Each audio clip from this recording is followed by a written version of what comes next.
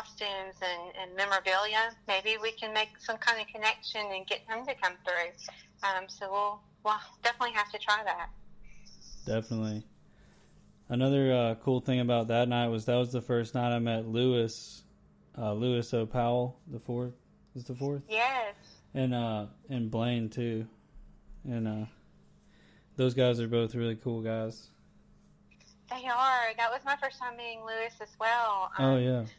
Yeah, it was. Yeah, he's really cool. I love his stories, and of course Blaine. I mean, come on. Yeah, he's Blaine. so awesome. he's you know the the first real medium I've ever met. Um, met him, you know, for the first time ever in Rockford, uh, which is the whole subject of the Haint Blue books that I've written. Yeah. So he's a plays a big role. Um, in those books and also in just my development and my path on the paranormal and learning. Um, he's been there guiding the way pretty much this whole time since 2012. So we've been friends um, for a long time. That's awesome. And he was the one who actually originally told or told us about Seven, uh, Yeah. the operator. And hmm there's also in uh in Indiana at the uh, Revenant Acres farm they have some entity that like possesses people that goes by seven. And I made a couple videos about that. And I mentioned that uh, there's another seven you know that's a a good seven. And there's been times where I've called like there was one day I said something like I was like saying seven can you uh, do something, and then all of a sudden it said seven, like super clear, and I was just like, "That's insane."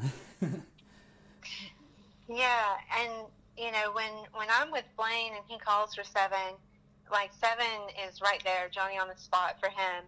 Um, when I try to call for him and Blaine's not there, it's hit or miss. I kind of yeah, in the past have given up trying to call for seven. I, I feel like maybe I'm I'm just not meant to use a tech, that technician, maybe. So, um, but you know, but when he when Blaine's there, you know, seven is a really cool guy. He's he he helps a lot. So yeah, I was definitely impressed with Blaine, and uh, and then you know you had Blaine and uh, uh, Kat Hobson working together and stuff. It was it was just a fun night, and uh, I think we got some great footage too and everything of what all was happening.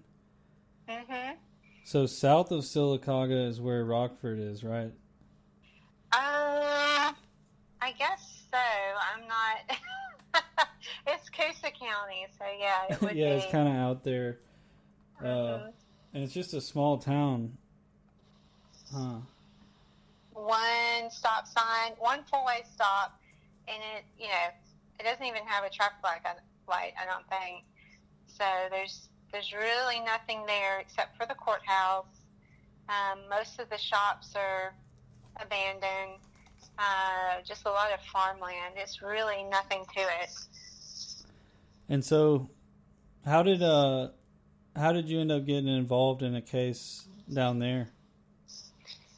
Well, if old high school acquaintance of mine, I mean, we really weren't even friends in high school, but we um, we ended up getting to know each other because um, when I got remarried after my uh, divorce back in 2007, 2008. Um, it it was just kind of weird when I when I got remarried. Um, my new husband's family members knew Jenny from college. They had been like really good friends, and so Jenny was my client who had uh, moved to Rockford and um, was renting a house there with her husband. And we just kind of reconnected because of all the new family uh, connections going on there. So, um, you know, and then I learned about her son, Buddy, who has autism, which is something that I was trying to learn about because my uh, new stepson, um, who was about 14 at the time, uh, he also had autism. Yeah, And so I really didn't know much about it, and I kind of learned from Jenny, um, you know, what autism is about and some things that she had um, recommended. So our friendship just kind of started that way. We kind of knew of each other, and then we became friends later in adulthood. And when she moved into Rockford, um, you know, she kind of started joking, like on Facebook and, you know, on her blog, that uh, she thought the house was haunted. And, um, but it really kind of took a turn for the worse, and it kind of got serious, and, and she really started to realize that it, there really may be something to it. Um, they only lived there in that house uh, for they signed like a six month lease, and they left like a couple weeks early because it was so intense Wow. and so frightening. So that's how I got ended up getting kind of caught up into um, this Rockford case was just just through coincidence, I guess. Yeah, that's interesting. And so I remember one of the things that they noticed when they moved in the house was that the paint, right? The Haint blue paint. Yeah, and of course Jenny didn't know what Haint blue was. She just thought it was this hideous blue that had been painted all over the walls. I mean, and and it wasn't just the walls; the doors, the Hmm. uh, the trim of the house, uh, the power, you know, the power outlets, and all the light switches. Yeah, was so it was just so bizarre how the paint had just been, you know, was everywhere, and it was only the upstairs of the house. His entire upstairs was painted this way. So naturally, the first thing she wants to do is to try to make the house her own, and not knowing that this Haint blue color was a way of protecting them from um, haints, which are spirits that are believed to be caught between the world of the living and the world of the the dead. yeah, And they're um, they're something you don't want to mess with. They, you definitely don't want to get caught up in. Um, but the Haint Blue paint supposedly is like their kryptonite, and they can't uh, cross it. So it wards off the evil haints, the evil spirits. yeah, And so, um, but she didn't know that. So she painted, you know, whatever she wanted to over the Haint Blue. And that's exactly when she, you know, had her first really weird experience. It was the day that she was painting, and her mother came over to give her a break and um, take care of her, her daughter, who was about two at the time. And uh, she was outside washing the paintbrushes out, and she glanced upstairs to um, like the master bedroom window, and she noticed that a man was, or she didn't say a man, but she just saw a figure in the window, oh man, yeah, and she just naturally assumed it was her mom going up there to see if, uh, you know, to see how she, she was progressing with the paint.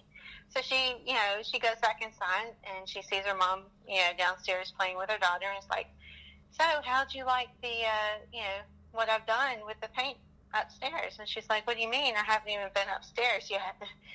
so, and she was so sure of what she had seen that there, she just assumed someone had, someone else was in the house, Mhm. and um, you know, no one else was supposed to be there, so they, you know, they panic, they run outside, and just as they're running outside, her husband pulls in the driveway, and and they're like, you know. Hunter, you know, someone's in the house. You've got to, you know, go check it out or call the police or something. I mean, they're like full on panic mode wow, and uh, you know they check the house and no one's there. But that was that was the first thing I think that happened to her, and um, just having no idea what she had done uh, to start this all by covering up that blue paint. Yeah, that's wild, and just the fact that that was that paint was there and everything, like that house just sounds crazy. And I remember some of the other things that happened were just like pretty, uh, pretty dark stuff. It seemed like. Um, so, so once, so how long were, were you actually involved with that house? Like, how long was that case? Um, from I think I really started talking to um, Jenny about it probably in May of 2012. um, I was seeing some red flags. She was talking about constant bug infestations, Mhm. um, bad smells in the house, um, you know, things going missing, appliances constantly breaking, and, um, you know, just a feeling of being watched, hearing footsteps. So I, I re- you know, reached out to her and just said, hey, you know, I've got this paranormal team. You know, we could come and investigate and try to fix this or try to help in some way. And, you know, at first she was like, no, she's, you know, wasn't really into it, that idea. But Mhm. a couple, couple weeks later, after she had um, gone through a physical assault, you know, being physically attacked, her and her daughter both, by the this entity that was in this house, she finally said, "Okay, you've got one night. 'Cause we're moving out. I don't want you to come before I'm out of here, but you've got one night. We're moving out, and then um, the next day we're turning the keys in." And she said, "You can come uh, this one night," and that's what we did. Um, we dropped everything, and we're like, "We'll be there." Yeah. you know, because I really wanted to make sure that I could um, maybe, with Blaine's help, you know, fix this house so that no one else would have to go through what she went through. Because we we feel pretty certain she wasn't the, the they weren't the first family.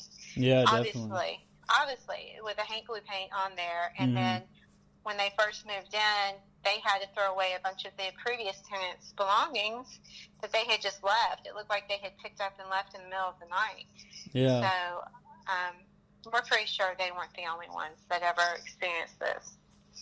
Yeah, and just the fact that you know the people before that obviously had you know some kind of knowledge about what was going on there, like you said, with the paint and everything. Like they tried to to calm it down, but uh, I'm not sure how much you want to go into that since it is in your book and everything uh, about like what happened on that land and everything. Yeah, I mean, we'll talk about it. Um, you know, 'cause of course, you know, if you want the full detail, it's all in the book. But Yeah. you know, you know, I'm, I freely talk about this. You know, I've talked about this before, but um, um, you know, of course, we have, you know, we did our investigation, and um, you know, Blaine immediately before you we even went in the the house, he was picking up on the presence of two males that were in the house, and they thought it was, you know, just a huge amount of fun to scare people and they were just proud of themselves for having run Jenny's family away. And um, he felt that they were uh, African American, hmm and um, he was picking up on a couple of names, like you know, John uh, was one of the names for sure that he picked up on, and so. You know, of course, I'm I'm pretty skeptical. I'm just kind of taking mental notes about all of this. But later, when we started doing uh, the research on the land and the house, and you know, digging into the history, we came across this incredible story. And this this was years later because we found absolutely nothing initially to validate what Blaine was picking up on. Uh, and validate any of the things that we heard through the spirit box, etc., that night. But um, we finally found this story about a voodoo preacher from the 1970s who had lived, uh, we would later find out, pretty much next door to this house that Jenny's family had lived in. And he had been suspected of killing at least five of his own family members. It started with his first wife, um, then his second wife, then it was his brother, who, by the way, was named John.